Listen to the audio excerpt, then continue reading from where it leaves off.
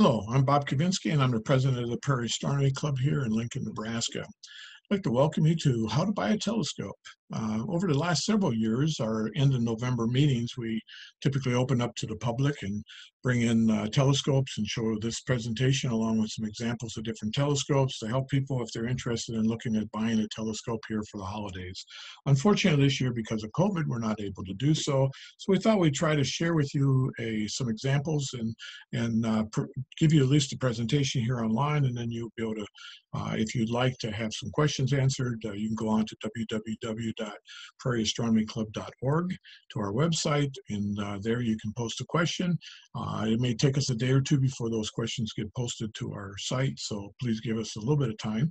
Once we get the uh, opportunity to view it, we'll try to answer your questions for you. So let's talk about how to buy a telescope. First thing is you, before buying a telescope, you got to think about what you're going to use that telescope for. Um, are you going to observe with a child or young person. Uh, does need to be fairly simple and very, you know, uh, uh, so in case their hands get on it, is it uh, very sensitive, uh, steerable, that type of thing. Is it going to be something you're going to use in your backyard or on your deck? Kind of easy stuff. Or you do want to get into into astronomy as a hobby and get a little bit detailed? Uh, do you want to get into uh, more deeper observing? Do you want to get into photography? All those questions you probably need to ask first before you start to decide what type of telescope there are three basic types of telescopes that are available in the market. The first one is called a refractor, example in the upper left-hand side of the screen. Um, refractor is kind of like the old pirate ship uh, uh, uh, telescope.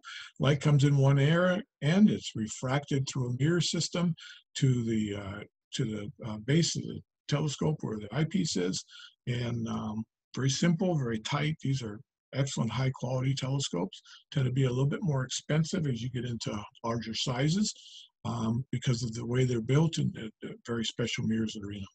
The second type of telescope is called a reflector. Reflector or Newtonian type telescope has a large mirror at the base of the telescope, so the light comes in one end, goes all the way to the base, comes back up, reflects on a small mirror out into the eyepiece, so thus reflecting the light off of a mirror. Uh, what it does, it offers you the opportunity to have twice that length of the overall eyepiece, and it gives you an opportunity to have a relatively simple eyepiece. These are typically a little larger uh, sizings and uh, gives you a very excellent view. The third type of telescope is called a Cassegrain or Schmidt-Cassegrain, or sometimes Maksutov is another name for these. Uh, the light comes in one end, goes down to a base mirror, comes back up to the second mirror, and then back out to to the bottom end again. Uh, what it does, it takes that refractor uh, eyepiece and what it or telescope, and it bends it, it folds it a couple times, and basically makes it a much shorter, much more compact, easier to handle, easier to store, easier to travel with. Um, that's the three basic types of telescopes that are in the marketplace.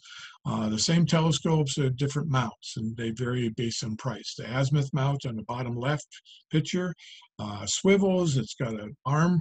Sometimes it can be motorized, sometimes not, depending on the size of the telescope, the amount of money. The second mount is a, a basic box mount called a Dobsonian. This was developed by a gentleman in the early 1900s called uh, Dobson, and uh, it was very simple. It was left, it swivels, so it goes left, right, up, and down. Because of that, it's very low cost.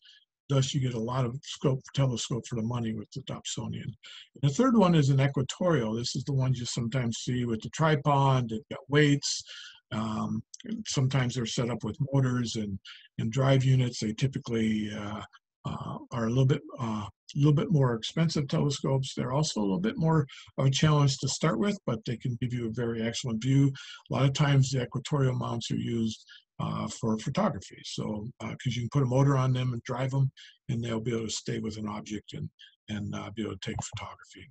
So the mounts, of course, impact price. The uh, basic box mount, I meant box mount, like I mentioned in the Dobsonian, very inexpensive. It's a couple pieces of plywood.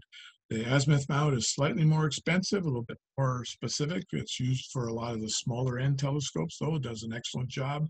And then several different types of tripods.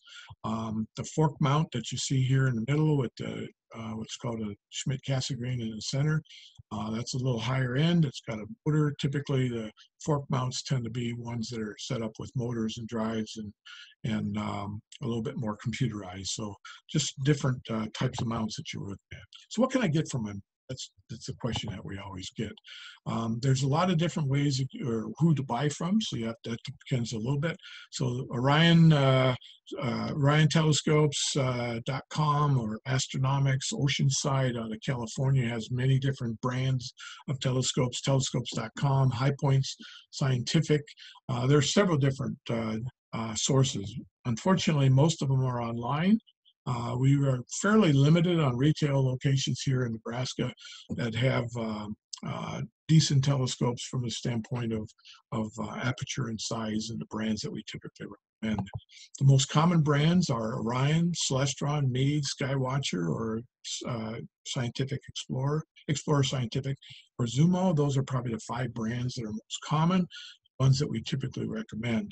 Uh, there are other brands that are out there, but we typically stay with these five because they have uh, his, hist historically had very high quality, high um, high end performance, and uh, for the cost. And uh, so we typically recommend to stay with one of these five brands. It doesn't mean you have to, just that's the recommendation. Uh, so what can I get for my money? So if you're spending that 50 to $150 range, you're fairly limited as far as telescopes. The center two here are some um, uh, basic two to three inch telescopes that you can buy for that uh, price range. Unfortunately, the tripods on these will tend to be fairly lightweight, so uh, they're not going to be ones that you're going to be able to handle and around a lot. Uh, you have to be a little careful when you're setting them up, and uh, they're going to be more difficult to stay uh, tight. There is a Celestron has their first scope out. It's uh, about a two and a half inch, it's a nice little scope for the money. It's on a, on a little azimuth uh, for like a tabletop or on top of a picnic table if you're camping. Uh, it's a nice little scope for the money. Honestly, for that price range, though, the best telescope is quite frankly a good pair of binoculars.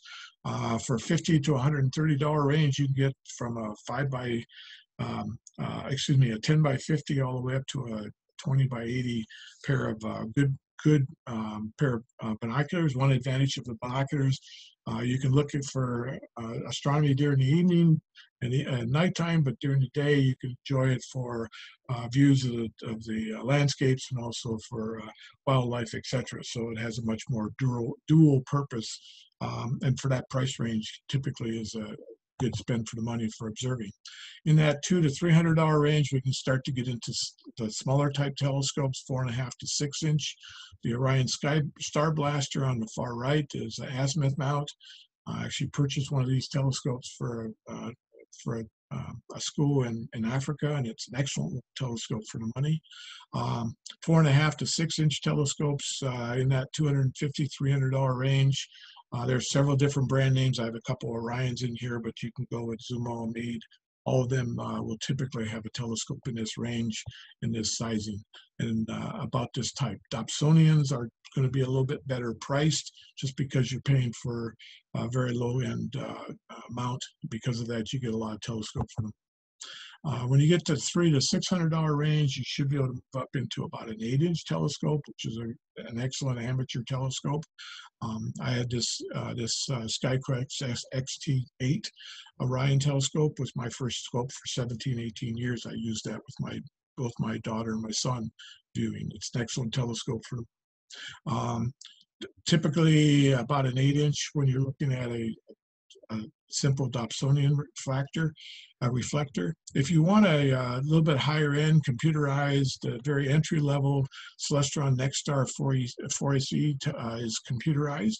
It's a very simple uh, push to or go to telescope um, for about $500. It's only a four inch size, so it's a little bit small, but you can get start to get into the computerization at this price range.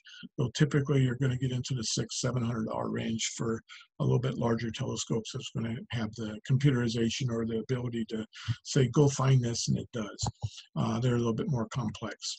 With a telescope, what am I going to see with these basic small telescopes? And, you know, the craters of the moon and mountains you can see with a good pair of binoculars and small telescopes just enhance that.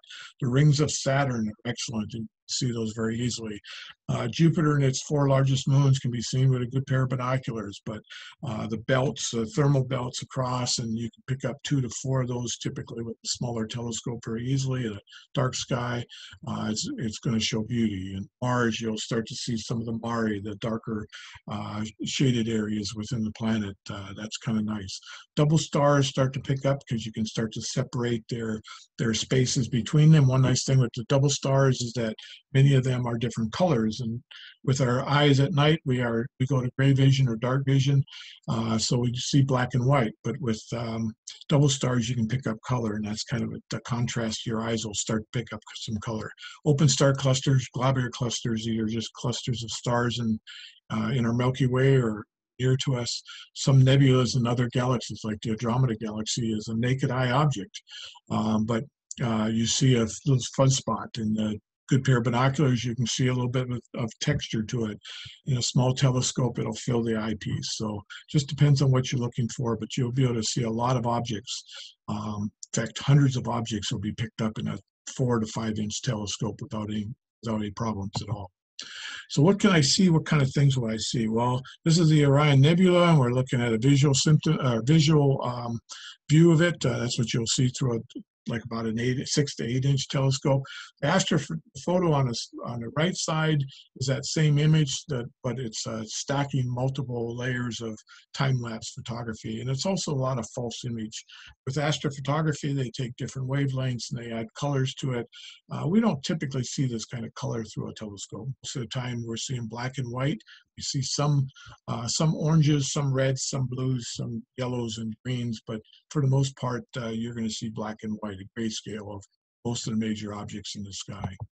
So um, we always recommend that when you're buying a telescope, we really want you to consider buying as much aperture as you can. The larger the larger your eyeball is to the sky, the more you can see with it. In fact, the more, the larger your eye, the bigger the scope, the more photons of light that you can bring in, and the more you can do with it. You can manipulate with filters and get better resolution and, and quality. An example of that is here looking at just a, a, galaxy in the sky. Through a four inch telescope, you can see kind of a fuzzy spot with a brighter core. Sometimes you can see a little bit of the arm. That's pretty uh, amazing if you can see that with a four inch telescope. As you get into an eight inch telescope, you start to pick up some of the detail. You might pick up some of the arms, uh, some of the structure within the within it. And then when you get into a 12 inch telescope, which is kind of just beyond where most amateurs uh, start with telescopes, you can start to pick up much more detail. You might see some little uh, star clusters within the within the arms and more detail and separation of the arms. Um, that's that's typically what you're going to see. So when we talk about power, that's always the question I get. What about how much power does this telescope have? And really, it's kind of interesting. For most of us, we're trying to work with as low a power as possible. I'll explain that in a minute. So most telescopes you're going to buy, you're going to get a lot of times two eyepieces. You're going to get a high power eyepiece and a low power eyepiece. The low power eyepiece is going to be a 20, 25, 28, or 30 millimeter eyepiece. That would be the low power. The higher power will be something in the 10 to 15 millimeter range. Now, what do we mean by that millimeter? What's, how does that relate to power? So what you do is you take the focal length of the of the telescope. The focal length is given on all telescopes, but be basically the distance from near to your eyeball. So let's say, as an example, you get a 1200 millimeter uh, telescope, which would be a common um, telescope in the uh, six and eight inch range would be typically eight inch for sure. You're starting to get up to about 1200 uh, millimeter. So a 20 millimeter eyepiece would be 60 power. You divide 20 into one uh, 1200. If you were going to use that 10 millimeter eyepiece, for instance, it'd be 120 power. It'd be a little bit uh, higher power. So that's kind of how you look at it. Typically, with a, uh, uh, with a telescope, you get about 50 um, magnifications per inch of aperture. That's the maximum perfect conditions, and we never see that. Usually it's about 50 to 65% of. So for instance, if I have a four inch um, telescope, the theory says I can have up to about 200 magnification. You're not going to see anything with 200 magnification on that telescope, but between 50 and 60, um, or excuse me, between uh, uh, 50 to 60 percent, so about 100, 120, uh, you'll be very usable with the four inch um, telescope. So that's kind of how we look at it. So avoid small telescopes because of that claim that you can go to really high power. So in this image on the left is um, a picture of Saturn. This happens to be at about 50 power, about uh, average power for a telescope.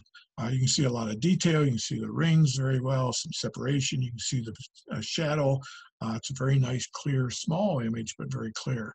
On the second image in the middle, it starts to fuzz out. This is at 100 power. So I double that power, but I end up with a much uh, uh, poorer image. And of course, at double it again, and I just about can't tell that it's Saturn anymore. The reason for that, it's called an inverse square. So every time I double the power, I get one fourth the image. So it's uh, one, two squared. So that's one fourth. So if I go from 50 to 100, I get one fourth the amount of resolution and detail. If I double it again, I get one sixteenth the amount of information at the eyepiece. And that's the reason why you want to, uh, you want aperture, but you also want to be able to uh, moderate that power so that you don't uh, you don't overpower your telescope and the size that it has. So most scopes are going to come with that size. The one thing I will caution you on though is stay away from any telescope that recommend or has on its eyepiece size a 0.96 inch or 0.965 inch. Um, these are small telescopes. They're virtually impossible to find. They have, uh, you can't find these eyepieces anywhere. You should avoid them at all costs because you're going to be very disappointed. Most of today's telescopes are going to come with uh, a one and a quarter inch at minimum, or they'll come with a two inch. The two inch typically will then have an adapter that will allow you to use one and a quarter inch eyepieces. That's the absolute minimum eyepiece that you would want to have in a telescope. Okay, this is an example of one that's just a little bit outrageous claims and pointed out just because it's the type of telescope you really don't want to buy. Um, this one makes some claims two to 300, two to 200 plus power. Uh, with a little bitty telescope like this, uh, it's only uh, a 50, a 50 or 60. That's uh, basically just under a two inch or uh, maximum of a two inch size telescope. It gives it a picture on the side. You can see that the, the tripod is an extremely flimsy one. You're not going to be able to stabilize it very well. The other thing that's kind of interesting is 0.96 uh, plastic focuser. That's the size of the eyepiece, and it gives you a 20 and a, a 6 millimeter eyepiece. And plus, it gives you a 3x magnifier besides that you can use it to magnify those eyepieces. Um, at 20 millimeter and that size eyepiece, even if you were looking at the doubt you would see much for detail. It'd be a white smudge, uh, maybe some detail. Uh, you might be able to pick up some dark areas, light areas, but nothing really of any detail. Be careful not to purchase a, a telescope that makes these outlandish claims and also with the small uh, eyepieces. That eyepiece, you're going to be looking through a size of a, a, a piece of glass that's about the size of a head of a pin. It's not going to give you much detail or information at the eye. It's going to be very difficult to see. Okay, a couple things that uh, look for when you're uh, using a telescope. First thing is how do I find stuff in the sky? And there's a lot of different tools and electronics available, but one of the most common uh, maps that quite frankly almost all of us use, uh, even those of us that have been observing for 30 plus years, we still use this very basic map from uh, www.skymaps.com. The nice thing is it tells you everything that's up during the month um, and kind of the key key uh, constellations and even some of the objects that you should be able to find in a small telescope. On the left side, it tells you kind of the calendar of the month and might highlight some uh, features like uh, meteor showers and other things that might be of importance. The other nice thing with this map is on the back side, it shows you a list of uh, key objects during the month that are what's called naked eye or unaided uh, with with uh, binoculars, and it gives you a, another list of about a dozen uh, or more uh, items or objects that are, are in binoculars or small telescopes, and then another dozen or so that are, are larger uh, aperture telescopes. So it's really nice and it's convenient to work with. Um, if you want to get into a little bit more detail, um, other than that map that I just showed you, uh, a basic sky atlas is uh, is always good. The most common one is this uh, pocket sky atlas from Sky and Telescope. Uh, it's about a 15 $16 six by nine inch uh, um, booklet. It also comes available at a $20 version, which is an eight and a half by 11 size. Uh, for those of us that are a little bit more uh, optically challenged because of age, it, uh, it that nicer, larger print is is nice, but you don't have to spend a lot of money. You can get uh, a really, really good quality book. The nice thing is these books both have uh, waxed paper. So I've had my uh, Pocket Atlas for over 15 years and it's still just as good as the day I bought it. Um, you can handle, it can handle wet and moisture and frost and everything. And it, because of the wax uh, paper, it just wipes off clean and it's ready to go for next time. So um, the Telrad is the most common uh, upgrade that most people would put on their scopes. Most telescopes are going to come on its left side. It's called this EZ Finder. It's a little red dot. Um, it's uh, a good eye, a good finder. Uh, helps line up your eye, eyepiece to what uh, you're looking at for an object. Um, a little bit harder to see because it's a small, uh, it's a relatively small spot that you're looking through. a lot of people will upgrade to a $40 Telrad. This is the one that's on the bottom left of the screen. This is about a, about a $40 item and it's got uh, uh, uh, red concentric laser rings that you look through. And uh, it's really nice because you're looking right into the sky and it's got a half a degree, two degree, and and uh, four degree uh, field of view. So with the rings, uh, half a degree, for instance, would be the size of, of the moon. full moon is about a half a degree wide, so it gives you that kind of uh, perspective. Really easy to look through. Um, there's a lot of different filters and other things that you can upgrade to, but honestly, most telescopes are probably going to come with a moon filter. If you don't have one, you can buy one. Moon's pretty bright, so it's uh, it's always nice to have a moon filter on it you really don't need any other filters to start with. Uh, the filter is a really inexpensive thing. Um, typically, it's in that 10 to $20 range if you want, but it, hopefully it'll be coming with your telescope. That's a common uh, addition that they'll that they add to a purchase of a telescope. So with that, before buying a telescope, you know, attend a star party if you can. We really encourage that with people that call and they, they're interested in buying a telescope. We invite them out to come to a star party. Why? Because you can look through many different types of telescopes and see uh, kind of what you want to look for. Are you interested in photography, interested in just viewing? You want something simple? Do you want it uh, computerized, which may add a lot of complications and challenges that uh, I challenge you with. You want to make that decision uh, carefully so that you know exactly what you're getting and have some support somewhere to help you understand how to use it. Um, hopefully this helps you a little bit about what to buy for a telescope. If you have any questions, please go to the prairieastronomyclub.org and uh, post any questions. We'll be happy to answer them.